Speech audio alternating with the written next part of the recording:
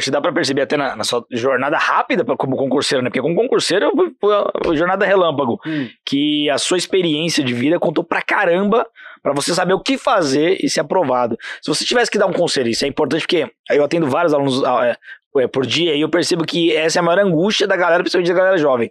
Se você pudesse dar um conselho pra essa galera, pegando o que foi bom é, para você em termos de aprovação e de estudos, da sua maturidade, pra essa galera hoje que consegue tomar uma decisão e melhorar, que você falaria pra esse pessoal? Primeiro, ter certeza de que quer isso. Eu aprendi na minha vida que o que você não quer de verdade não vem pra você. Primeira coisa. Você pode que- querer o que for. Você não desejar e querer de verdade, você não vai conseguir. Isso é fato. É, segundo, estudem sem se cansar. Nossa, agonismo? Não. Estudem, tô tranquilo, pô, cansei, minha vista cansou, relaxa. Mas não vai querer já sair tomar um 3 litros de cachaça, porque daí vai esquecer tudo que você estudou. Relaxa, pensando naquilo tal. Converse muito sobre o assunto com outras pessoas. Meu, e a tal assunto? Você acha isso? É, escuta coisa. Hoje tem muita coisa na, dor aí na internet, né? Escuta essas- esses negócios, troca ideia. E eu acho que não tem que dá errado. Só que as pessoas têm que entender o seguinte também. Não é todo mundo que vai passar. Porque se todo mundo passasse, não precisaria ter concurso. É. Entendeu?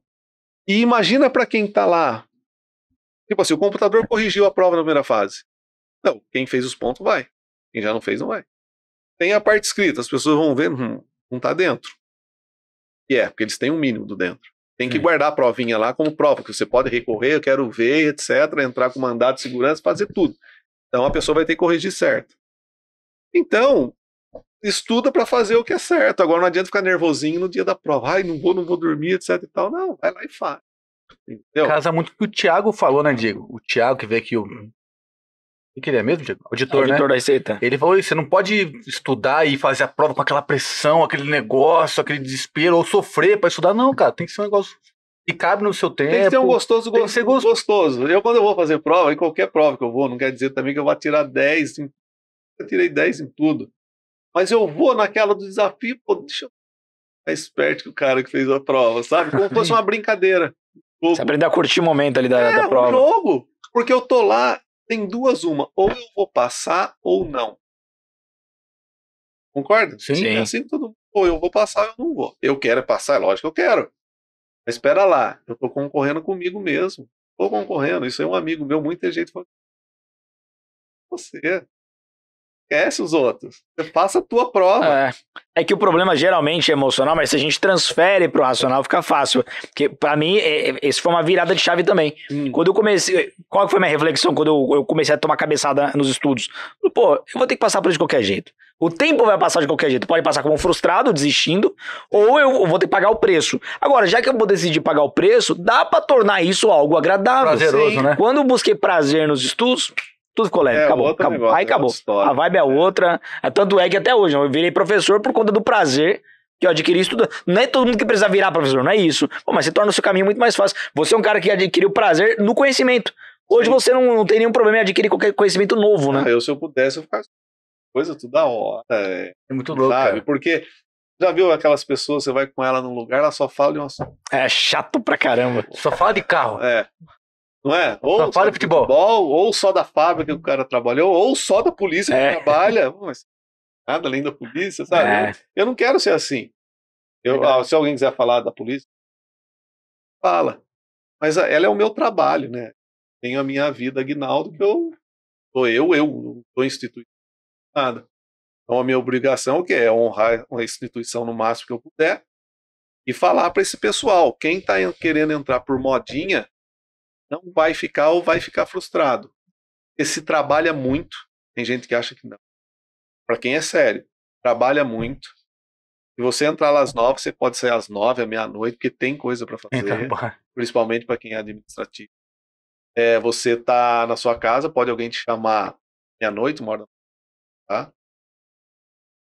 Hoje o pessoal acordou três horas, porque quatro e tá numa outra. Aí você fala, ah, não vou. É, não tem essa não. né? Entendeu? Então, isso aí você é convocado. Então, é. Tira o negócio da moda, faz isso. É estudar sem se cansar, conversa sobre o assunto. Sabe? Com, com prazer. Assim, não, eu quero saber isso porque eu quero. Não vou fazer prova nenhuma, não. Eu quero saber isso. Eu quero conhecer isso. A hora que você fizer isso, é tão natural que a hora que você lê a questão, você, nossa, isso aqui já era. Nós temos hoje uma. Eu na faculdade que eu faço aula, tenho aula com o professor Robson R, da aula de penal. Meu professor também. Muito bom. É. Ó, eu, eu estudo, não, porque eu nunca vou para uma prova sem estudar, desde moleque. Posso saber tudo, mas eu, eu estudo. Sim. Nem que seja uma hora, mas eu estudo. A matéria eu tenho que ver em uma hora, eu tenho que ver tudo. Do Robson Ferri, por exemplo. Eu estudo, mas não preciso. Eu estou fazendo prova, eu estou ouvindo. Assim, ó, pô, Fica fácil. Tirei 10. Ele, não, uma eu tirei 9, uma eu tirei 8,5, mas não interessa para mim. Uma bem acima da média que eu preciso. Por quê? Porque eu gosto do assunto penal. Eu, eu, e tem a ver comigo, então eu preciso saber, preciso estar atento. Você aplica diariamente o direito penal. né? Exatamente. entendeu?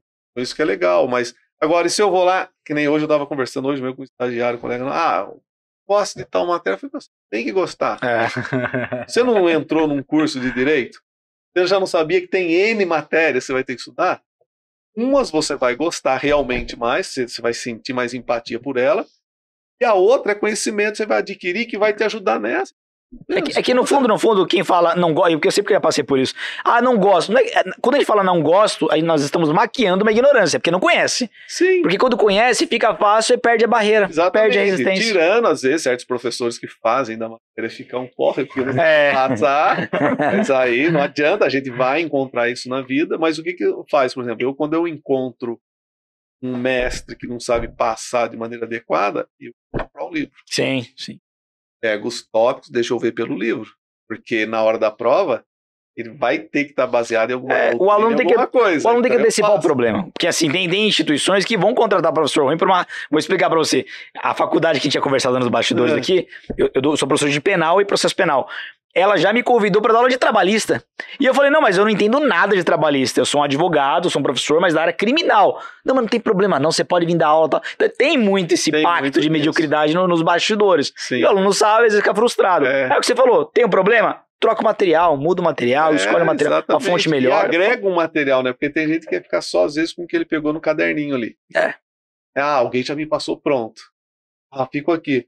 E a pessoa pegou um negócio de duas páginas para frente que ele não tinha visto, ele já vai É. quebrar na hora Poxa, do concurso. É o que eu sempre falo, a- a- quem fica perseguindo o tempo inteiro atalhos, fica rodando em círculo. Não sai disso, não, Exatamente, não vai evoluir nunca. Você tem que pegar conhecimento maior e que acontece com a minha questão que eu acertei. Porque eu, eu, com certeza, em algum momento, talvez eu li aquilo, ou sei lá o que foi, Sim. e acerta. É, e foi um raciocínio bom, né? Porque é jurídico e lógico, porque, pô, você falou do, do crime instan- instantâneo de efeitos permanentes. Permanente. Pô, instantâneo por quê? Acontece agora.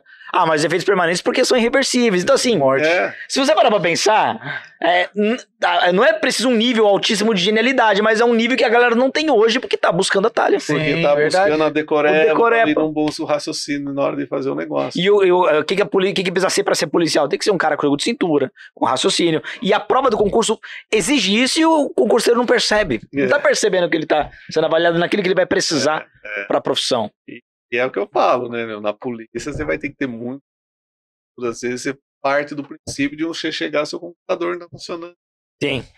Vai chegar, você vai ter que fazer. Ah, nem que você vá atrás de um para socorrer você. Mas você vai ter que ter pelo menos essa sua iniciativa.